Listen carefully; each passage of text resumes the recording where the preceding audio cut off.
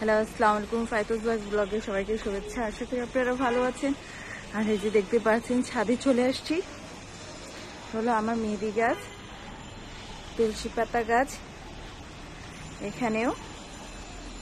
মানে কিছু, যেহেতু একা ফ্ল্যাটের বাসা আমার না, একা ছাদ তো আমার না, সবার যেহেতু আছে সঙ্গে। তাই এরকম। এটা হলো আম গাছ।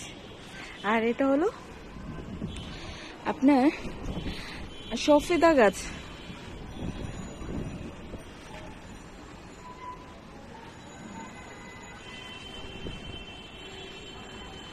আমার হাজবেন্ড খুব শখ করে লাগিয়েছিল এটা মাসাল্লাহ বিচি লাগিয়েছিল।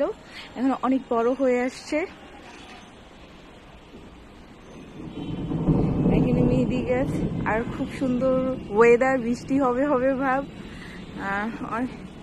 অনেক- ভালো লাগছে ছাদে এসে। আমার সবসময় আসা হয় না। আজকে আসার ইচ্ছে হয়েছিল বৃষ্টিতে। ভাবলাম যাই বৃষ্টিতে দেখ করে আসি, ভিজে আসি। এটা হলো আমার ডালিম গাছ।